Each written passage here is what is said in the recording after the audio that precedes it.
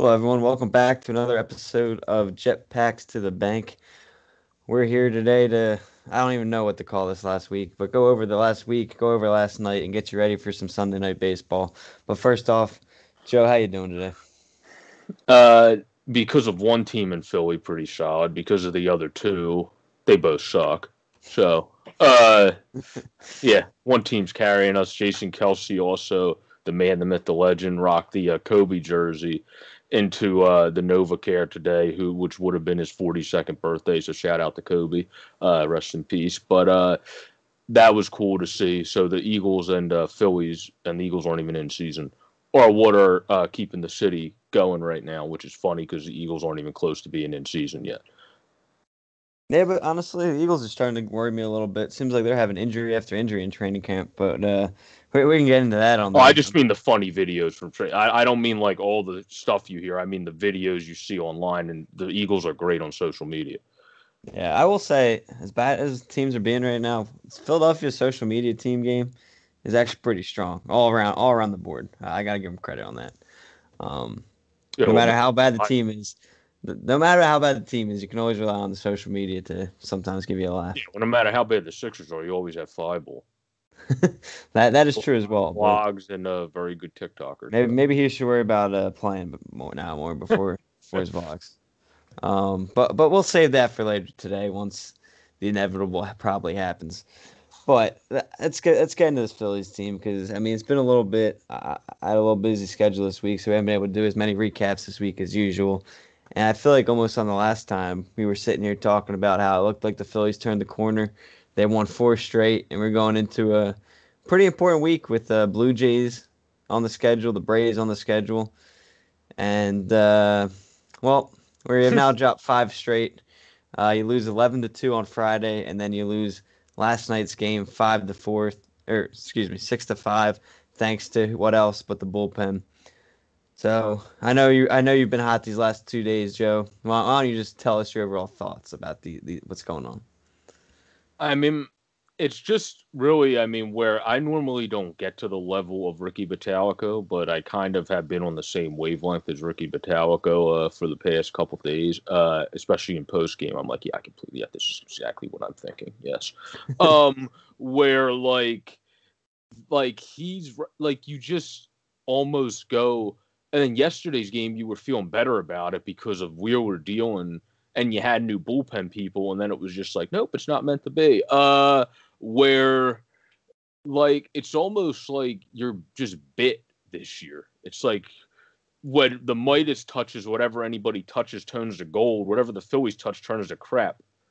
Like it's it, it's it's almost like you could probably bring in Chapman, and all of a sudden he'll start throwing 93 miles per hour and not be able to get it up to 99 and not have as effective of a slider and just have like a 3.9 ERA and you'd be like, huh?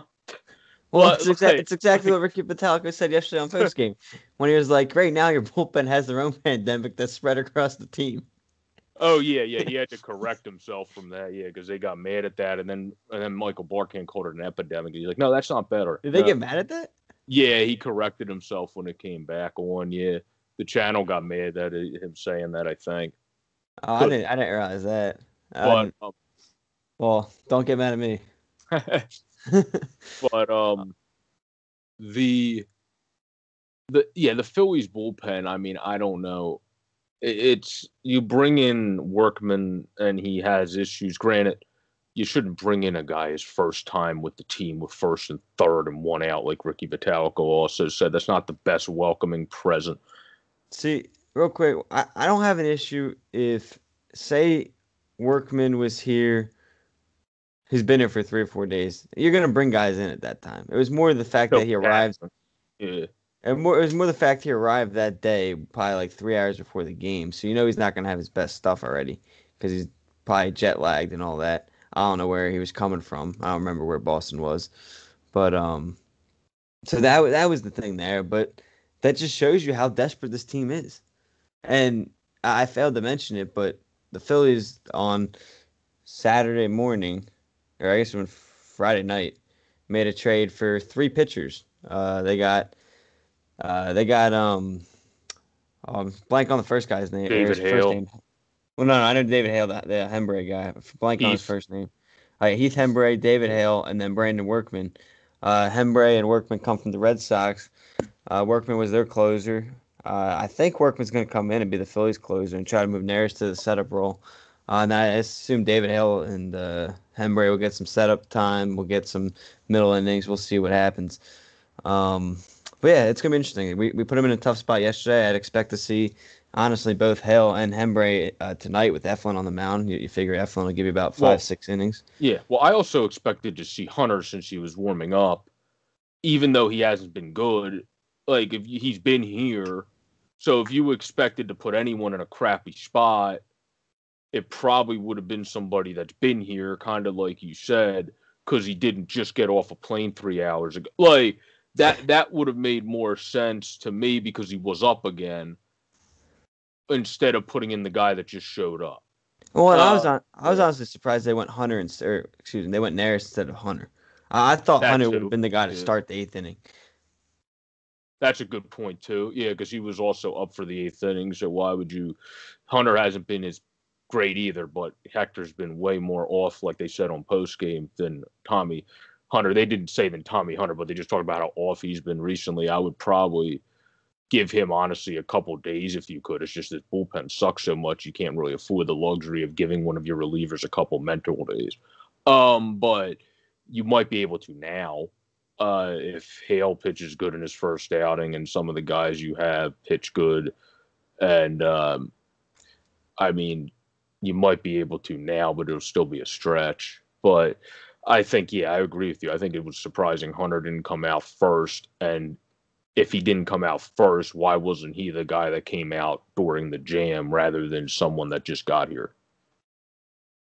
Yeah, no, I, I agree. I agree to an extent. It's it's an interesting situation, but I think by um by that move, it's showing you how desperate the Phillies are. I mean, the Phillies. uh, Girardi already knew what he was getting in Hunter. He already knew what he gets in theirs, and you knew we, we mentioned it that you can't. eh, We were surprised that he went with uh, Workman there. Well, I, I think for that reason, that's why you're also not going to stretch out three guys that just arrived there in that day. You're going to use the one that you trust the most, and obviously Workman's the best of the three. So they they trusted him in that situation to get that done because obviously you already know what you got in there. You already know what you got in Hunter. You already know what you got in the rest of the pen, and it, you can't trust him. And I think it was a move of desperation, and unfortunately it didn't work out last night. Um, I don't think fans should take that on Workman. I think in the long run he'll be fine. I think it was just a mix of him coming in uh, in a tough situation, one, and then two, obviously just coming in that day. So I think we got to give him more than just that one time. Yeah, Yeah. I don't think he explained it bad on post game either. Uh, he talked about how his curveball was off. Uh, he needs to throw better pitches and stuff. He kind of owned it pretty solidly. So Yeah, I think that that's a pretty bad. good first impression uh, after a bad first impression pitching wise, like he said himself. Uh, so that's a good first impression to leave on the media, like having the ownability, because you don't like nobody in Philly likes athletes that try to push the blame in this city. So having that is nice to see in his first outing. He also doesn't want to be a normal bullpen guy. He basically also said in that I if I go out tomorrow, like basically I'm going to be better. So that's basically also saying I want the damn ball tomorrow. And, and, and- and without saying that, that's pretty much telling Girardi if we get in a situation where I can have the ball, give me the damn ball. I don't care how much I pitch today. Like without directly saying that, that's almost saying that in my opinion. Yeah. So But I got I got three stats real quick. I, I need to read to you, and you it, you spiked it by mentioning wasting Zach Wheeler's start yesterday after he was dealing. These three stats: Zach Wheeler and Aaron Nola combined for a 2.92 combined ERA. Phillies are five and five in those games. The Phillies have a losing record in games Bryce Harper hits a home run, and the final one, in the month of August, despite hitting 291 with runners in scoring position, we were eight and 12. What a wasteful month. And, and these stats are uh, brought. Uh, we were on uh, Corey Seidman's Twitter. He he, he tweeted them. wait, So what did we that- hit with runners in scoring position? That broke up in my mic. In August, we are currently hitting 291 with runners. Two in scoring ninety one. position. Oh, okay. Yeah, I heard. and you and you were eight and 12. Okay, like- cool. No. Yeah. that I, I don't even know what else to say after that. Like I don't know how that happens. No, I'm Nola and Wheeler are to the point where they're both Cole Hamels. Where I'm not like like I'm not like in a good in a way of they're both pitching well, but they're both like Cole Hamels in the year that nobody scored, or when they did score, the team still lost. And it's like both of them were just, yeah, I can't find a way to get a win. Like, I pitch great and I just can't get away. Like like like they're both right now what like that type of guy and you have to figure it out because obviously Eflin hasn't been as good as we hoped uh, so far coming back. Jake's looked off his last couple outings. Uh, you hope he bounces back. Uh, he seems to have a better head on his shoulders with this uh, coaching staff than the coaching staff prior. But um, we'll see what happens there.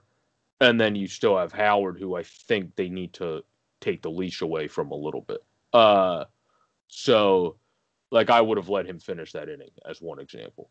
Um, so uh, in a nine inning game, I think he does finish it, but I think Joe Girardi over. I don't care. I think Joe. I, no, I'm saying I, I, think I'm agreeing with you. I just think Girardi yeah. over over manages these seven inning games. So in a spot like that, um, in a nine inning game, in the fourth inning, I think he leaves him out there but because it's seven innings. He overthought it and um, went to the pen.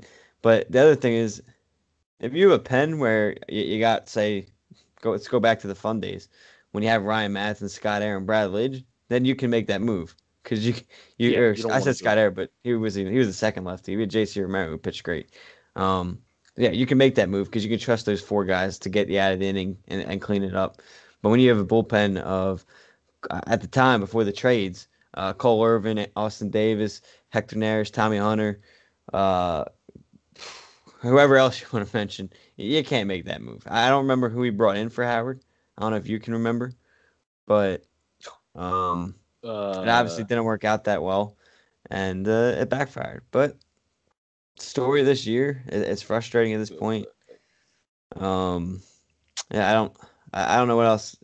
If you have anything else on, on these recent struggles or not, but I'm trying to see who we uh, brought in. Well, no, who we brought in for Howard did fine. It was it was uh, Parker. It was Parker Alvarez got out of the jam, and then Hunter blew it up. Yeah, Hunter blew it up, and then Deolis Guerra before he got DFA continued to suck. So, uh, yeah, so he's don't have to worry about him anymore at least. Uh, but yeah, I mean the Phillies. At least some things happened. You had uh Adam Haseley. A lot of people's uh guy that they like uh, come back active yesterday. So except for the sad part of that was Jay Bruce then got put on the IL. Um, yeah, we lose a couple but, guys. Bruce and uh, Jose Alvarez going IL. Um, well, Jose Alvarez was expected. There was no chance he wasn't going on the IL after getting drilled by that. No, I, I agree with that. He would have been like that would have been ridiculous if he was like, "Oh no, no, I'm good. No, it's all right. Don't worry about it, guys. I'll be okay."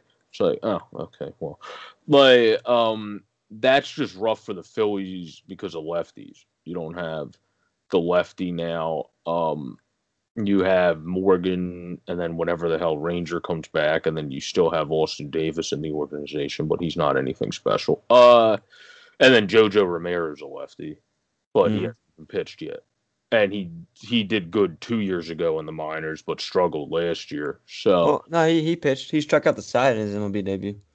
Oh, did he? Okay, I didn't watch. Mm-hmm. I probably didn't watch that game because I missed it. Yeah, he, actually, he looked. Yeah, okay, they actually looked pretty good. good. He looked good in his MLB debut after looking terrible last year in AAA. So that's good to see. um, like it's weird how that happens sometimes, where like guys um have a great year, then struggle in AAA, then they get called up and they're like oh my god, I found it, uh, and then they keep doing well. It's weird how that works sometimes. Hopefully that happens for him because that would be huge since uh, Jose Alvarez is out. So yeah, absolutely, they're gonna need him to step up with Morgan. Hopefully Ranger Suarez can come back soon, and uh, he's on a good trajectory. It sounds like. But moving on real quick before we get into tonight's game, as I mentioned, Phillies are on a five-game losing streak. Not looking good, good right now at all. Um, I mean, there's no other way to no other way around it. You're now sitting at dead last in your division. Um, five game losing streak. Obviously, still got a tough game here against the Braves uh, tonight. So, where are you at with this team? Are you hitting the red button? Is it panic mode? Are you giving up on, on World Series playoff chances? Are you still still have hope in, in that sense? Where are you at with this team well, on this current losing streak? Well, about the first one, I never thought we had much of a chance at that. Uh, I mean, if I had to rank this team as a World Series contender, I wouldn't have had them too high coming into the season.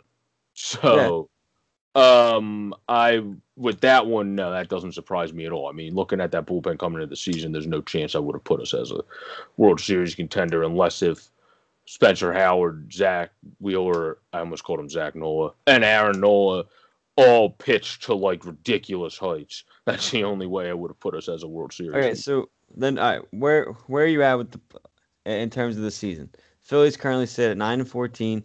They they currently have. I mean, I'm gonna put the Cardinals over the Phillies because I mean, yeah, if you go by win percentage, they are above the Phillies. Phillies are currently the second worst team in the National League. Um, so obviously, I, I know it's expanded. The Cardinals are also decent because they're just going back and forth because they haven't played. They're eight and eight. They're just teetering like that's all you have to do. That's all you have yeah. to do is play 500 ball. Phillies can't do it. Um, but you got everyone to climb. Like obviously, it's expanded playoffs. So you're gonna have eight or yeah, eight teams in, in the playoffs. Um, but I mean, are you where, where are you at with that? And where how do you think the Phillies rebound? And does it does it start tonight as a transition into tonight's game? Uh, well, the Phillies could they still make the playoffs? Yes, but that's because there's an expanded playoff front.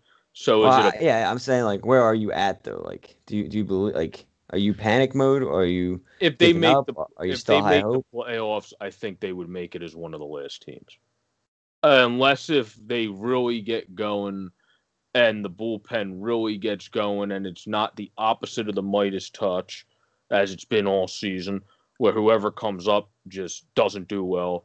Where other bullpens, whoever comes up, it's the exact opposite. Uh, where ours has never been like that. So it's been annoying to see. Uh, that if that changes, and like I said, and like we said, Workman in that outing, it wasn't. He was coming off a plane. That's not a good outing to judge off of. If Hale in his first outing, JoJo, uh, who I missed because uh, I wasn't watching that game, but he had a very good outing, like Andrew said. Workman and Hembree, and then Hunter figures it out, Neris figures it out, then yeah, you might be able to get into a decent playoff spot. You're not going to be a division winner. There's absolutely no shot in hell. I think this team's. I don't unless if they pull a rabbit out of a hat. Uh, I don't think they're winning the division. Um, but you might be able to go up in the wild card because there's a few extra wild card teams this year rather than being the worst wild card team, which is pretty crappy. in uh, this expanded playoff. So that's probably the heights. Uh, the low is not making the playoffs because this team's been so putrid in the bullpen. If that continues, you're not going to make it. Um, yeah. So, so to me, it sounds like you're hitting the panic button. Yeah. Oh no, I don't think this team's going to do anything. Like if they make the playoffs, they'll make it and it'll be cool. Uh, and then we'll probably go up against a juggernaut and get our asses kicked.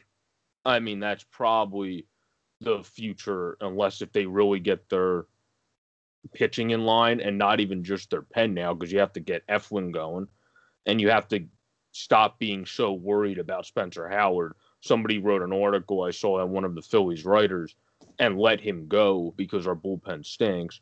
Uh, you can't be putting people in in the fourth inning all the time when he's at 65 pitches or whatever it was. So it's just because uh, it was a seven inning game. I could care less. Joe Girardi overthinks it more than Gabe Kapler. I mean, like, chill. Okay, out. so, so again, so you're hitting the panic button on whether this team will make the playoffs. It sounds like. Is that correct? Yeah, and if they make the playoffs, they're going to be losers anyway because they're going to make it in a defeat. Wait, you, you, you face the Dodgers. You face the Dodgers. Yeah, you're probably facing. You're not. You're not beating the Dodgers. Um, so let's jump into the night. You got Sunday Night Baseball, um, which I think when every, obviously the schedule came out, they were hoping. I want to see national television people watch this team. Yeah, I, this is what the, I mean. This is what the city of Philadelphia. I mean, tonight will be the night Zach Eflin like pitches bad, and the bullpens are going to throw like six scoreless innings and and make make us all look crazy as fans. But um, no, we got we got obviously another big game. We got seven days left in August here. You're five back of the Braves in the division. So obviously, if you're going to stay hopeful in that, you got to start turning around somewhere, and it's got to start with tonight. I mean, obviously, this past week has been horrendous, uh, terrible, uh, five game losing streak. But it, it, it starts with tonight, and maybe you turn it around. You're going up against a veteran and Josh Tomlin, who's one and zero oh with a 2.35 ERA, and then uh, Phillies got Zach Eflin on the mound, who's 0 1 with a 5.14 ERA. So, two guys who, I mean, Tomlin's been in the league longer, but Eflin's been around the league for a little bit now. Um, not the best numbers against the Braves. Uh, I was comparing it or looking at some numbers as always. They got their hitters. Their hitters can hit off Eflin. Surprisingly, he's got control of Freeman. Freeman's only hitting 143 off him, but outside of that, everyone else has some pretty good averages. Um, and then the Phillies against Josh Tomlin. Haven't faced him too much. Most is a Jean Segura with 13 at bats, He's th- sitting 308. But what what are you looking for out of Eflin tonight? I mean, obviously he struggled. He's gotten pulled early in most of his starts. Um, I think the one start against the Yankees, maybe he lasted six innings, gave up four runs. Is that what you're kind of looking for tonight? Is just six run, get us to get get us through six, about three or four runs? Is that what you want to see out of him? That would be good because ideally, if our offense can keep scoring, I mean, Josh Tomlin, I understand he started the season really well so far this year, and that's good for him as a journeyman pitcher. But I mean, he's a journeyman pitcher also for a reason. I don't think he's going to consistently keep a 2 3 ERA. So eventually, he's a guy that normally plays with hitting the right spots, like the outer parts of the zone, always staying low, getting the double plays, all that good stuff, pitching to contact, letting his defense do his thing. You have to jump on him when he has his good pitches that he leaves over the zone because he doesn't have special stuff. He's a location pitcher.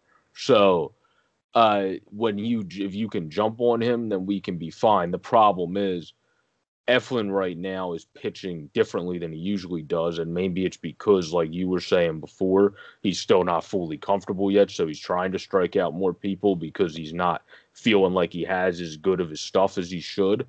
But I don't know, but I feel like he's sometimes over pushing it, like kind of overthrowing at times to go for strikeouts this year, and that's never been him. So I, I've been trying to put my finger on that. Uh, so if he can kind of tone it down more to like that Yankees game where he balanced both ends and get through like six innings and three, four runs, that would be probably good against the Braves because I would think the seventh inning. I mean, I'm not the best at predicting who's going to come in, but I would have to say it would be Hall or Parker because Parker hasn't pitched yesterday. He might come in, or you might let that be Hale's uh, first game since it's the seventh inning too. So yeah, no, I agree. I think he just has to settle down and play his game. I mean, he's got 23 strikeouts in 14 innings. Like that's just that's not Eflin. But hey, if that's what he's gonna do, that's fine. Just got to manage everything else. Uh, yeah, I'd like just can't have a five-five ERA. Yeah. I like to see him get back to his ground ball self too. I feel like he's got. I don't know the exact percentages, but I feel like his ground ball to fly ball ratio is probably higher than usual. Um, oh. I think he I was just say the funny thing about that is though, who would have thought that Zach Wheeler would be one of the best ground ball pitchers in all of baseball coming into this season, and Zach Eflin will be one of the better graded strikeout pitchers. Like, like, I'm pretty sure people would have been looking at you like you had six heads if you said that in the off season before the season. No, I, I agree with that. Um, yeah, I, I think uh, I don't know about you. I, I think um, we'll, we'll see what the lineup is with Tomlin coming out there today. I'd expect to see uh, Adam Haseley make his first start since coming off the DL. Um, I would think um, so. Yeah. I would like to think JT will be back in there. Uh, I don't know what the when they give the guys off. I don't know what he's going to continue to do with that. Uh, well, we'll see what happens. Uh, I do like. I think Scott Kingery is starting to slowly turn the corner. He's starting to hit the ball more. I'm not going to say he's back, but he's hitting the ball harder. It seems like got unlucky on a couple yesterday or Friday. I can't remember which day it was. One was but, uh, yesterday, uh, I think, when Dansby made that diving yeah. snag. Yeah. So it's gonna it's gonna be interesting to see. I, I hope we get it done tonight. I'm gonna say, I'm I'm gonna say Phillies knock uh knock Tomlin around today. I think, I think Eflin's gonna get a six six uh six innings of three run ball. Uh, Tomlin's out by the end of the fourth inning, uh, and then it's gonna be up to the bullpen if they can hold on to the lead. Um, I think uh, I'll, I'll give the Phillies. I don't think he gets swept against the Braves here, so I'll, I'll give the Phillies the benefit of the doubt. I'll say uh, I'll, I'll say a nine to. I'm thinking like a nine to five victory here tonight. Gotcha. Um, yeah. Well, also with rest, I don't think anybody you should have to worry about that because we have off tomorrow. So Yeah. if you're worrying about rest, uh, that's an issue because you have a day off. So I think we shouldn't have to worry about anyone in the lineup tonight. But I would say if Eflin can get them through six, they'll be in pretty good shape because now you don't have guys with three hours of showing up and not even knowing who they are on the team yet, really. Uh, getting thrown into a situation, they at least had about 24 hours to process where they're at. Um, so plus David Hale knows Atlanta. He freaking started pitching for Atlanta. So that that's pretty comfortable for him. That's why I think it wouldn't be the worst idea to get him in a game in Atlanta as his first start since he's he didn't pitch. I don't know if he pitched in SunTrust. I think he pitched in the old stadium. No, he did pitch in the old stadium, but uh, you still are in a comfortable setting and city. I think that wouldn't be the worst idea. But either way, I like. I think we are good as long as our bullpen holds on. I did say in the video yesterday I wasn't going to make predictions anymore because this team pisses me off, uh, and it's so hard to make predictions. I like predictions. so you don't have to give one, but but- give predictions. Yeah, um, I would say it is. I'll just say eight to four, maybe if we do win, because I think we'll have to score at least eight runs. Not gonna because I your bullpen's gonna have to. Well, Eflin also, I think, the pitch well is going to have to get run support so he can settle into a game and finally get his confidence up. I think that would also be best for him because I think the best way to get his confidence up is if we can jump out early on Tomlin, kind of like you were hinting at, and then Eflin can kind of just cruise more to get his his feeling back for his pitches and not feel any pressure because we're already up like four, five, nothing, or whatever. So if he gives up a solo shot, you're still up five to one. So then he can feel a little bit more looser, where he seems a little bit more tension driven and overthrowing, like I said at times this year. So uh, I would say eight to four because I think we need to jump out early here, kind of like you were hinting at as well. Sounds good to me. Hopefully, we get a Phillies win, start to turn the corner. Um, I don't know if you have anything else before we wrap it up here, and any final thoughts. I'll leave Well, we did this. forget to say again. Uh, if you like what you're listening to, like, comment, and subscribe because I'm a stupid idiot and forget to say that at the beginning of stuff all the time. So do that if you like what you're watching. Yes, agreed. Uh, please help us out there. Comment. Uh, let us know any suggestions, anything you want us to talk about. Um, I'll leave you with this uh, breaking news. According to Bob uh, Nightingale, uh, former Philly and fan favorite around oh, baseball, you saw that. Hunter Pence has been uh, designated for assignment. He, I mean, he's struggling. He's hitting below 100. So I'm not saying I'm too surprised, but uh, it's Hey, always unfortunate. with our club. Yeah, right. It's always unfortunate to see guys you like ha- that happen too. So we'll see if he gets a second chance with a different team. But that's all I got. I don't know about you. Hopefully we get another Phillies win. Yeah. Uh, what, do, what do you have for us? Final thought wise. Well, it, my final thought is it's great to see, uh, other than last game, uh, Nola this year is pitching well, excluding his last start, but everybody has a bad start. Every great pitcher has a bad two to three starts in a season. So that was just one of them. And then Wheeler hasn't even had that yet. So that's been helpful. And so it's great to see those guys continue to do well. Now we just need Eflin and guys like Jake to rebound. So I think that will happen hopefully because it seems like with this staff with the starting pitchers we're getting the message across a little bit where with the relievers for some reason it's like it's like goes here and then it's out the other ear. Like, like i don't know what the difference is there but um that's why I feel good things about Howard as he gets better and showed me more signs in that game of maturity. So my final thought is I think our rotation is going to start carrying us more as time goes on, especially because of Howard. Even if Arrieta only does solid, I think Howard's going to take a more step forward to go five innings at least. So then your rotation is going to take a bigger step. And if Arrieta can even just give up four runs but go six, that's fine too. So uh, I think that's what we're going to see going forward, and that's what's really going to help us. and I also think if there's still some issues, Matt Klentak will probably add more people because Joe Girardi will probably have another press conference where he's like, well, you know, uh, I just kind of deal with the people that I'm given, and I don't, and basically just keep talking in a tone where you can tell blatantly that he doesn't like the people he's given.